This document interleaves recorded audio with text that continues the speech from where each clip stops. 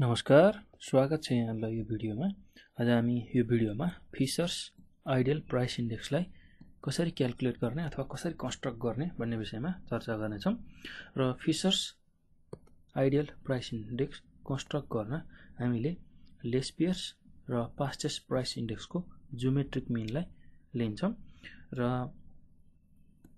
फिसर्स ideal price इन्डेक्सलाई P zero one एफले हामी रिप्रेजेन्ट गर्छौँ सिम्बलमा र त्यसलाई निकाल्न हामीले जोमेट्रिक मिन लिन्छौँ। लेसपियर्स प्राइस इन्डेक्स र पास्चेस प्राइस इन्डेक्सको र लेसपियर्स प्राइस इन्डेक्सलाई पी जिरो वान एलएले रिप्रेजेन्ट गर्छौँ। र यो निकाल्न हामी यो फर्मुला युज गर्छौँ। Summation P one Q zero divide by summation P zero Q zero into hundred र त्यसै गरी प्राइस इन्डेक्स फर पास्चेस निकाल्नको लागि summation P one Q zero divide by summation P zero into Q one into hundred यो फर्मुलाको use गर्छौँ। र यो दुईवटा फर्मुलालाई यहाँ हाल्दाखेरि यसले हामीलाई यो फर्मुला दिन्छ। Root under summation P one into Q zero divide by summation P zero into Q zero into summation P one into Q one divide by summation P zero into Q one into hundred बाहिर छ root बाहिर र यही formula use गरेर हामीले फिसर्स ideal price इन्डेक्सलाई calculate गर्छौँ। र यसमा भएको सिम्बललाई हामीले बुझ्नुपर्ने हुन्छ। र यसमा पी जिरो भनेको कुनै पनि कमोडिटीको बेस इयरको प्राइस हो। र पी वान भनेको कुनै पनि कमोडिटीको करेन्ट इयरको प्राइस हो क्यु जिरो भनेको बेस इयरको कमोडिटीको क्वान्टिटी हो र त्यसै गरी क्यु वान भनेको कुनै पनि कमोडिटीको क्वान्टिटी हो करेन्ट इयरमा भनेर हामीले बुझ्नुपर्ने हुन्छ। र यही फर्मुलाको हेल्प लिएर हामीले Fisher's ideal price index calculate गर्छौँ र एकदम सजिलो छ। र यो फर्मुलालाई कसरी एप्लाई गर्ने र फिसर्स आइडियल प्राइस इन्डेक्स कसरी निकाल्ने त्यो बुझ्नको लागि हामीसँग प्रब्लम छ र यो प्रब्लमलाई सल्भ गरेर हामीले यो कुरा बुझ्छौँ। फिसर्स आइडियल प्राइस इन्डेक्स यो फर्मुलामा कसरी एप्लाई गर्ने र भ्यालु निकाल्ने भन्ने कुरा। र त्यसको लागि सुरुमा हामीले दिएको क्वेसनलाई हेर्छौँ जसमा बेस इयर र करेन्ट इयर दुईवटा इयर दिएको छ र बेस इयरको प्राइस र करेन्ट इयरको प्राइस दिएको छ र बेस इयरको टोटल भ्यालु दिएको छ यसरी र करेन्ट इयरको पनि टोटल भ्यालु दिएको छ हामीलाई। र हामीलाई फिसर्स आइडियल प्राइस इन्डेक्स क्यालकुलेट गर भनेर सोधेको छ करेन्ट इयरको लागि on the base. Basis of the following information भनेर र हामीले यसमा बुझ्नै पर्ने कुरा भनेको हामीलाई बेस इयरको प्राइस दिएको छ तर क्वान्टिटी दिएको छैन। त्यसै गरी करेन्ट इयरको पनि प्राइस दिएको छ क्वान्टिटी दिएको छैन। र टोटल भ्यालु दिनु भन्नुको मतलब यसबाट हामीले क्वान्टिटी निकाल्नु पर्ने हुन्छ। त्यो कुरा हामीले बुझ्नुपर्छ। र क्वान्टिटी निकाल्नको लागि हामीले फर्मुला युज गर्छौँ। र त्यो भनेको पी जिरो इन्टु क्यु जिरोले टोटल भ्यालु रिप्रेजेन्ट गर्छ। त्यो कुरा हामीले बुझ्नुपर्ने हुन्छ बेस इयरको लागि। त्यसै गरी करेन्ट इयरको लागि पी वान इन्टु क्यु वानले टोटल भ्यालु रिप्रेजेन्ट गर्छ। यो कुरा हामीले बुझ्नुपर्ने हुन्छ। यो बेस इयरको लागि भयो र करेन्ट इयरको लागि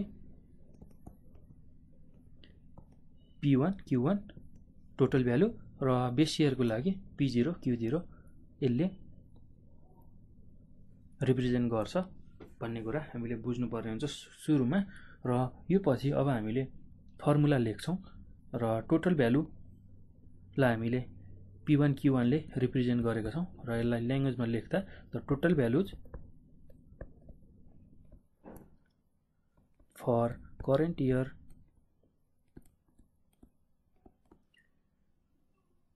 are denoted by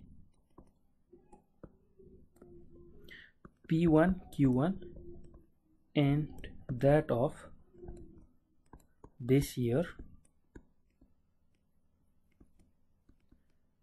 are denoted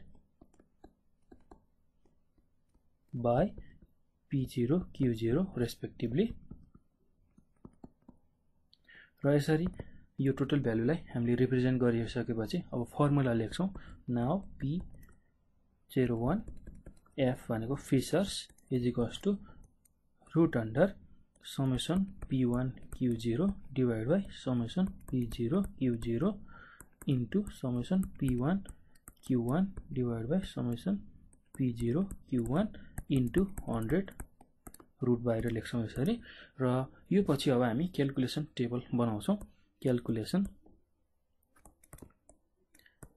of Fisher's ideal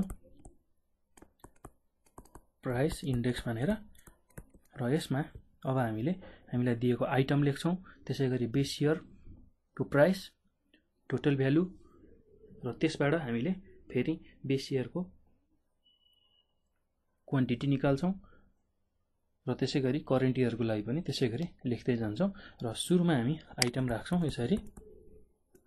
र बेस इयरको प्राइसलाई हामी पी जिरोले रिप्रेजेन्ट गर्छौँ र हामीलाई टोटल भ्यालु दिएको छ। टोटल भ्यालु भनेको बेस इयरको पी जिरो क्यु जिरो हो र यसबाट हामीले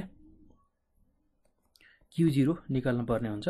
अर्थात् बेस इयरको क्वान्टिटी निकाल्नु पर्ने हुन्छ र त्यो निकाल्न P zero Q zero divide by P zero यो फर्मुला युज गर्छौँ। र त्यसै गरी हामीलाई पी वान अर्थात् करेन्ट इयरको प्राइस पनि दिएको छ र त्यसको total value P one Q one पनि क्वेसनमा प्रोभाइडेड छ। तर हामीले क्यु वान अथवा करेन्ट इयरको क्वान्टिटी निकाल्नु पर्ने छ। त्यसको लागि P one Q one divide by P one गर्छौँ। र त्यो पछि हामीलाई फर्मुलामा चाहिने भ्यालुहरू हामीले क्यालकुलेट गर्छौँ। हामीलाई फर्मुलामा पी वान क्यु जिरो चाहिएको छ एक्स्ट्रा र पी जिरो क्यु वान हामीले निकाल्नु पर्नेछ र पी जिरो क्यु जिरो हामीलाई थाहा छ अलरेडी र पी वान क्यु वान पनि हामीलाई थाहा छ र यसको टोटल भ्यालु हामीले राख्नुपर्ने हुन्छ फर्मुलामा एकदम सजिलो छ। र अब आइटमहरू हामीसँग एबिसिडी चारवटा आइटम छन्। ए बी सी र डी र त्यसै गरी पी जिरो भनेको बेस इयरको प्राइस भनेको six eight ten twelve six eight ten twelve र टोटल भ्यालु भनेको three hundred three hundred twenty त्यसै गरी two hundred.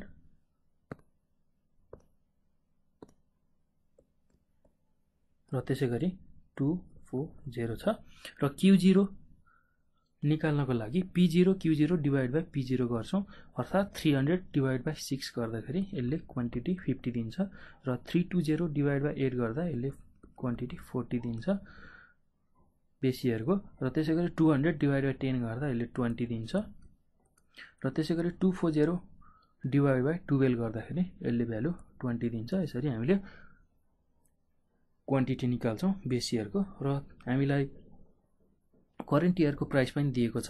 At ten twelve र त्यसै गरी फोर्टिन र पी वान क्यु वान भनेको टोटल भ्यालु हो करेन्ट इयरको र यो पनि हामीलाई दिएको छ। थ्री टू जेरो त्यसै गरी थ्री फाइभ जेरो त्यसै गरी टू एट एट र टु एट जेरो। र यसबाट हामीले क्यु वान अर्थात् करेन्ट इयरको क्वान्टिटी निकाल्नु पर्ने हुन्छ। त्यसको लागि P one Q one divide by P one गर्छौँ।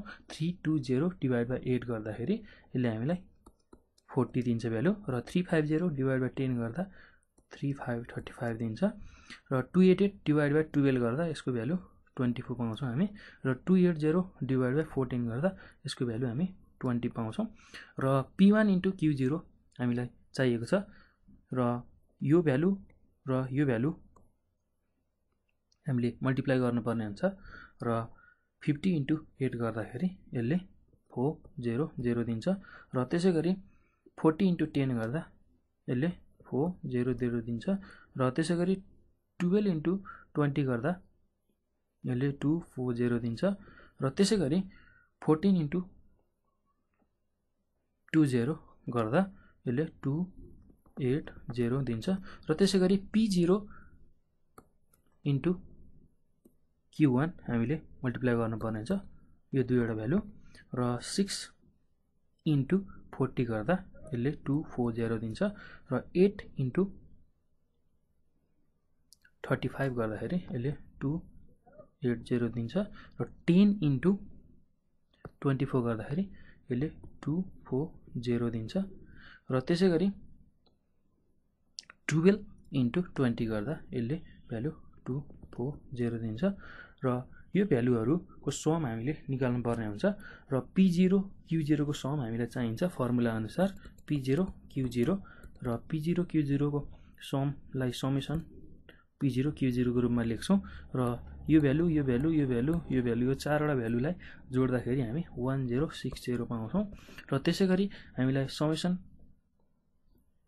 पी वान क्यु वानको भ्यालु पनि चाहिन्छ फर्मुलामा र यो चारवटा भ्यालुलाई हामीले जोड्ने हो भने one two three eight total समको रूपमा पाउँछौँ। र त्यसै गरी पी वान क्यु जिरोको पनि हामीलाई सम चाहिन्छ।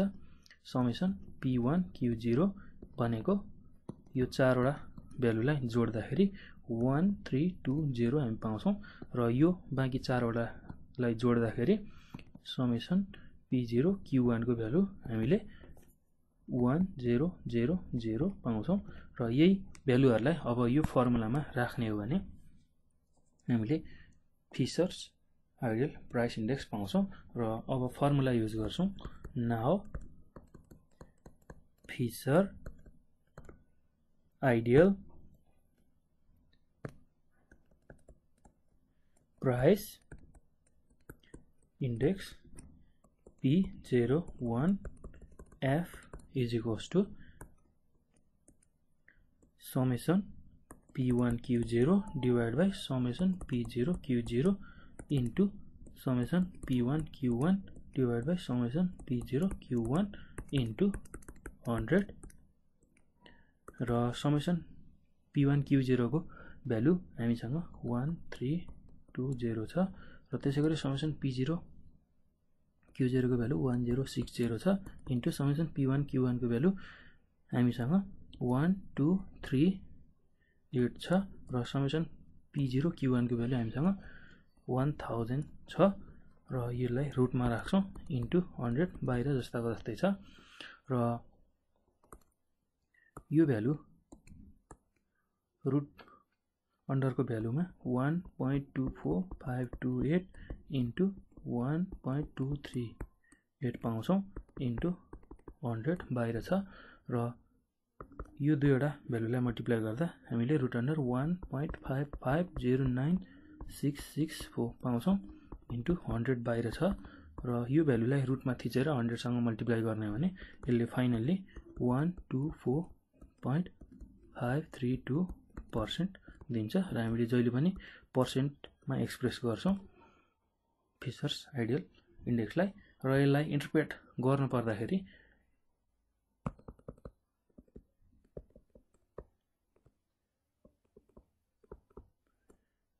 one two four point five three two percent minus hundred percent गर्छौँ। यसले twenty four point five three two percent दिन्छ भन्नुको मतलब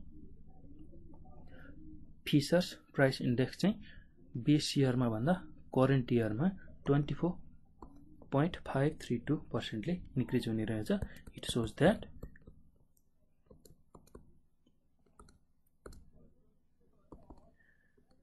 the Fisher's ideal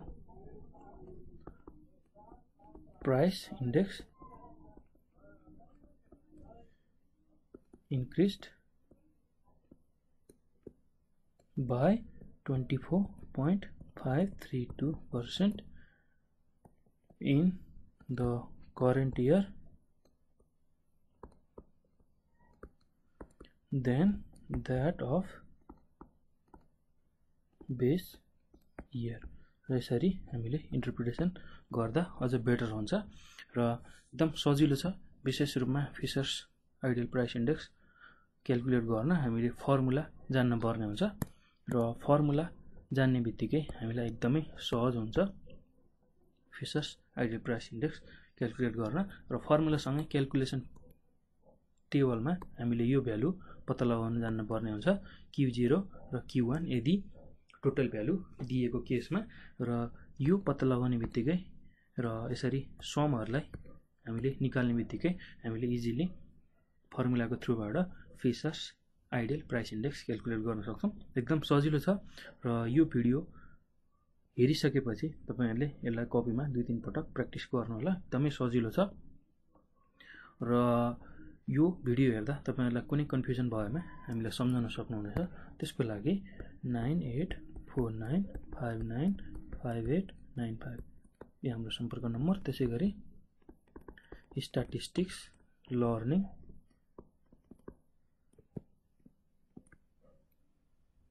नेपाल। यो हाम्रो फेसबुक पेज हो र यसमा पनि हामीसँग जोडिएर आफ्नो जिज्ञासा समस्याहरू हामीले राख्न सक्नुहुनेछ र हामी त्यसको समाधान तपाईँहरूलाई गराउनेछौँ। र यो भिडियो हेरिसकेपछि यसलाई लाइक सब्सक्राइब र सेयर गर्न नभुल्नुहोला। धन्यवाद।